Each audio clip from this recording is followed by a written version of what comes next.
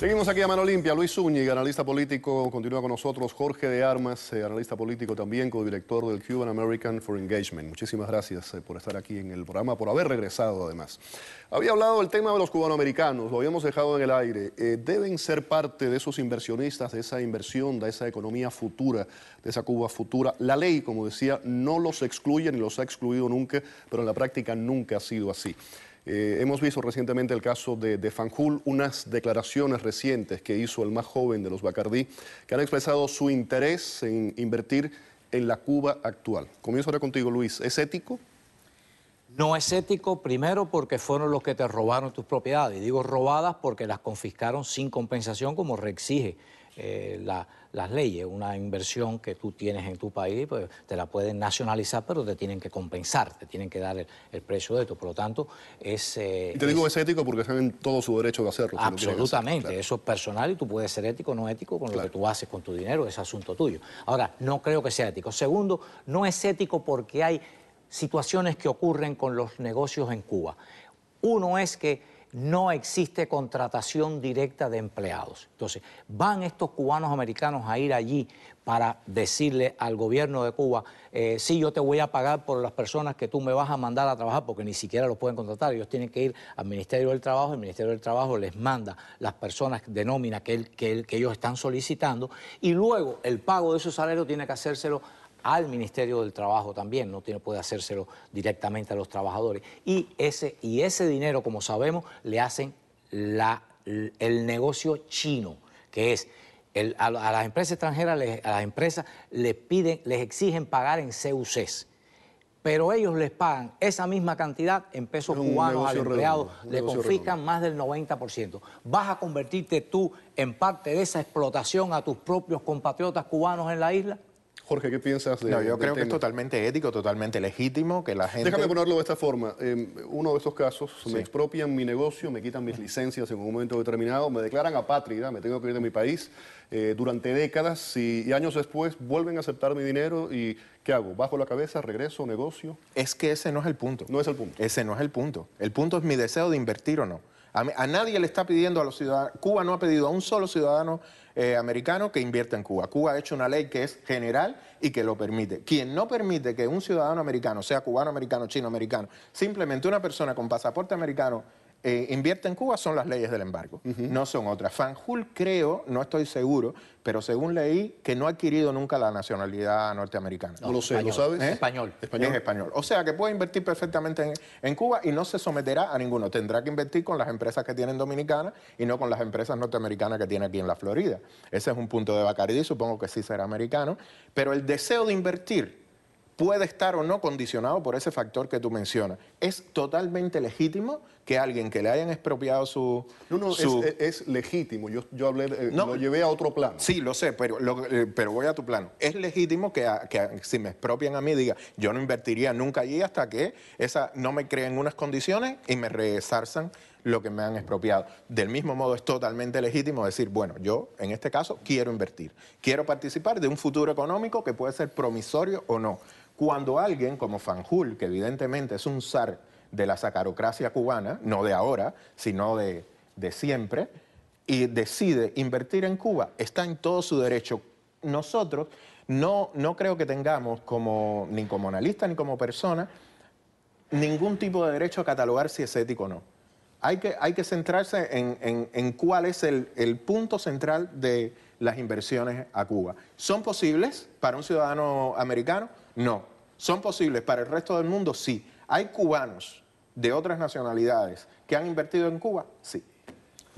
Que, eh, creo que para ser justos, creo que, el señor Fanjul aclaró de que, eh, o en su declaración, el artículo que leí yo en el, Washington Post, era de que eh, la, invertiría cuando existieran las condiciones apropiadas. O sea, ¿y cuáles son las condiciones apropiadas? Él no lo aclara, o sea, yo no quiero ser injusto tampoco con el señor Fanjul. Ahora, desde el punto de vista ético, bajo esas condiciones que existen en la ley, cubana, de que tú no le pagas al trabajador, que le pagas al Estado y el Estado te paga el 10%, el 8% de ese salario al trabajador, creo que te estás convirtiendo en un explotador de tus propios compatriotas y por eso para mí no es ético. Y estoy analizando desde este punto de vista. Además, no hay ningún derecho sindical, no hay derecho de protección de los trabajadores, no les está permitido el derecho a huelga, no les está permitido ni siquiera sindicalizarse con un sindicato propio independiente del gobierno. Las instancias únicas que existen son las del gobierno y ya sabemos cómo actúa el gobierno en todas estas instancias.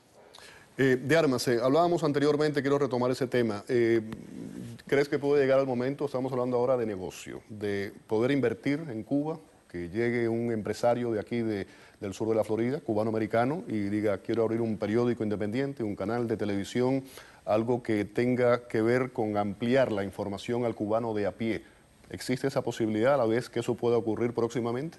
Lo veo remoto pero lo veo remoto a nivel de, circulación, digamos, de tipo general. pero existen dos empresas norteamericanas autorizadas a, ejercer el periodismo en, Cuba.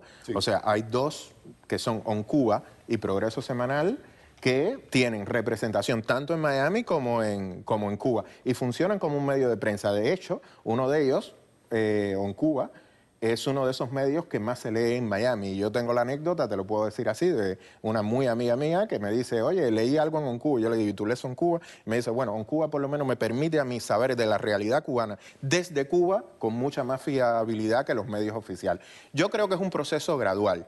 Yo creo que a veces se exagera la ciberfobia del gobierno cubano. En Cuba está circulando a través de algo que llaman el paquete semanal y las memorias USB y este tipo de cosas, está circulando mucha más información de la que nosotros podemos estar conscientes. Evidentemente, evidentemente no creo que las estructuras de poder cubanas, que eh, dentro del área de la información suelen ser muy celosas, establezcan una política amplia a un corto plazo. Eh, sí, en cuanto a eso, ya que hablas de medios de expresión, ellos son extremadamente selectivos a la hora de reunirse y mucho más a la hora de publicar. Publicar, sí, le han publicado artículos a, ¿cómo se llama?, al polaquito de acá, ¿cómo se llama? A Malesnik, le han publicado. Precisamente fui a buscar el artículo de, Jorge, eso que me había recomendado que leyera, pero no lo encontré, pero me encontré hoy uno en el Granma, precisamente, tuyo. En el Granma, no, yo jamás he publicado en el Granma. un artículo tuyo de de Progreso Semanal. Lo publicaron hoy, está hoy en el grama de hoy, en el de hoy. Ah, bueno, pues lo, publicaron sin yo saberlo, lo voy a chequear porque... O sea, que sí, ellos copian y publican artículos que sean... Pero fíjate que hasta en estas reuniones de, la, de lo que ellos llaman la comunidad cubana en el exterior son extremadamente selectivos. ¿Cuáles son? Los que no los que aman a su patria, porque siempre usan la patria para taparse. Entonces, eh, eh, la posibilidad de, empresas en el sector de las comunicaciones, en el sector de las opiniones, cero. Eso no existe. Y si no, váyanse al artículo, al, video que aquí eh, Marzo Fernández, le doy su crédito que lo merece, fue uno de los que consiguió el texto del video que pasaron a los líderes, a las principales figuras políticas en Cuba cuando la defenestración de Laje, de Pérez Roque, de Estenosi, de José Luis Rodríguez, ellos pasaron un, un, video en privado a los dirigentes para explicarles por qué esas personas eran, ellos los calificaban de traidores a Cuba y por qué eran defenestrados. Y hay una parte donde precisamente el propio Raúl da su opinión, dice que hasta el propio Raúl tuvo que intervenir para detener esa corriente que se apartaba del verdadero pensamiento revolucionario y que se estaba incubando por algunos estudiosos del ya desaparecido Centro de Estudios de América. Pensaron que con empresas privadas, con eso que ellos llaman libertad económica y que no es más que enriquecimiento injusto de unos mediante la protección de otros, iban a salvar el socialismo. El socialismo se salva con más rigor, con más control, con más esfuerzo, no con maniobras entrevistas al enemigo. No vamos a construir el socialismo con el trabajo privado o con empresas privadas. Ese es el pensamiento de Raúl Castro. Estas son, como dicen ellos, circunstancias especiales para salvar el socialismo. Eh, de armas, eh, le contestas ahora, pero quiero, en relación a lo que le estaba diciendo, mencionaste a Laje, eh, Laje, Pérez Roque, José Luis Rodríguez y José Luis vamos Rodríguez. Laje, Laje Pérez Roque, Robaina. Jóvenes los tres, civiles, y para muchos considerados reformistas hasta cierto punto, y los defenestraron. desaparecieron de una u otra forma los tres. Eh, y siguen un poco los octogenarios de línea dura allí, en el, en el poder. ¿Cuál es la lectura? ¿Cuál es la visión que nos envían cuando vemos eso? Yo creo que hay dos momentos. Hay dos momentos. Un momento en el cual, después de que, de que Fidel, digamos que renuncia a todos sus cargos, de retraimiento y, digamos que un poco de, renacimiento del conservadurismo más férreo de, lo que viene a ser el, socialismo en Cuba y los líderes históricos de la revolución cubana. Y hay otro momento en el cual es más de, tenemos que ir hacia adelante, evidentemente nuestro tiempo está a punto de terminar y no podemos dejar un país desestructurado. Esos son los dos caminos que yo creo. Yo creo que hay figuras que sí, que fueron reformistas, unas más, unas menos, pero realmente en el conjunto de, de, las naciones hay un grupo de decisores que son los fundamentales. Y en este caso están trabajando por un futuro. Están trabajando por un futuro que evidentemente no es el futuro que a lo mejor usted quiera, no es el futuro todo el futuro que pueda querer yo como persona, pero es un futuro totalmente diferente a todos los 50 Dentro años de ese, que hemos de ese futuro pudiéramos eh, ver aspirar a una Cuba, a la que aspiraría yo, por ejemplo, de una Cuba democrática con elecciones libres pluripartidistas. Eh, libertad de asociación, de expresión, eh, libertad de prensa, el, hecho de poder sentarnos igual que tenemos este programa hoy aquí, tú das tu opinión, Luisa la suya, eh, poder hacer eso, por ejemplo, en, Cuba, en un canal Yo de aspiro totalmente a eso. ¿Pero crees que eso está próximo? Yo creo, próximo no, yo creo que a, a mediano plazo lo que viviremos, lo que viviremos es un proceso de dirección colegiada en el cual participarán distintas fuerzas de la sociedad civil. ¿Y, crees que los intereses del gobierno van en esa dirección? Sí, tienen que ir tienen que ir, no tienen otra solución. O sea, no hay líderes carismáticos capaces de enfrentar el proceso desde un personalismo. No existe, no existe más en Cuba. Luis. Mira, la experiencia histórica demuestra que cada vez que nuevas generaciones se han aproximado al poder o han estado participando del poder, eventualmente han sido defenestrados. Tú mencionaste algunos, a Pérez Roque, empieza desde Aldana, eh, sigue por Pérez Roque, sigue por Robaina, sigue por Laje, Rodríguez de Estenó y va a seguir Díaz Canel. El mismo Díaz Canel tuvo tremendísima oposición para nombrarse. ¿Y sabe de quién vino la oposición? De Ramiro Valdés. Porque lo querían nombrar, Raúl lo quiso nombrar y finalmente lo logró como presidente de los consejos de Estado y de ministro. O sea, que quedaba poder del Estado y poder gobierno en las manos de un solo individuo y Ramiro Valdés decía, no puede ser porque estamos entregando demasiado poder a alguien que no tiene el concepto bien claro ni es un histórico de la revolución. Voy con de armas y tengo que, cerrar ya. Sí, eh, solo una cosa, eh, otra vez, vamos a leernos la Constitución. En Cuba, por ley constitucional, la presidencia del Consejo de Ministros y del Consejo de Estado recae en la misma persona. No se puede separar. Otra cosa que quiero cerrar, que creo que es el, centro de este, de este asunto, es la necesidad de que si bien existe una exención de la ley para nosotros como ciudadanos eh, cubanoamericanos para poder viajar sin límites a la isla, algo a lo que usted se opuso en el 2003 cuando firmó la Carta Bush, celebrando que una familia solo se pudiera ver cada tres años. repite que no ¿Eh? entendí. O sea, en el 2003 usted firmó una carta apoyando la decisión de Bush de que de separar a la familia cubana y de que solo de que solo pudiéramos ir a Cuba cada tres años y bajo ciertas condiciones. En una nación como los Estados Unidos cuna de la democracia y ejemplo para todo el mundo. Jugar con la familia para mí es una de las cosas más tristes que se puede hacer. Luis, eh, Totalmente en contra de esta decisión. Los cubanos americanos, una de las cosas que pudiera hacer la presidencia de Obama es establecer una licencia que nos permita invertir en Cuba. Acabas de abrir el tema para otro programa.